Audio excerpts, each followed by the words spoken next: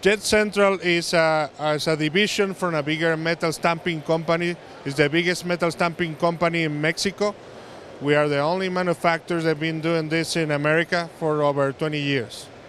For the unanimate and commercial and military application, we have a whole line of turbines, and we do also a test and solution for educational purpose and um, testings.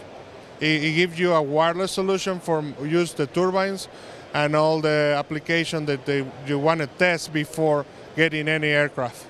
We have right now a range from 85 newtons up to 300 newtons, and they, they run they can run on diesel, uh, kerosene, or jet A fuel.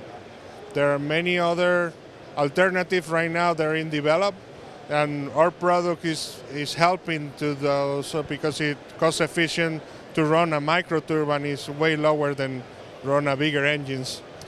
For all different kind of fuels, you don't have to do any adjustment itself. It's more where the engine is going to be performed. Let's say they have a higher altitude, you need to do an adjustment in the software, so the fuel restrict a lot of it, more the fuel because the oxygen levels are lower. Oh, the applications run from a, a pretty wide uh, range. They use them for uh, more in the drone segment for payloads and longer distance operations. And in the educational side, they use them, like I say, for the cost efficient in uh, aeronautical engineer schools is way lower the cost to run a micro turbine that is exactly the same technology that you can find in a bigger engine.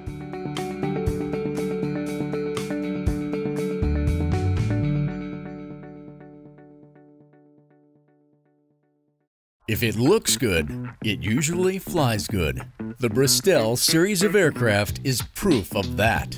Furthering their legacy of safety and efficiency, Bristell is proud to feature the Rotax 915 IS Turbo in the current lineup of aircraft. The 915 IS Turbo power plant offers more power than ever before in a light sport aircraft. Learn more about Bristell at www.sportflyingusa.com.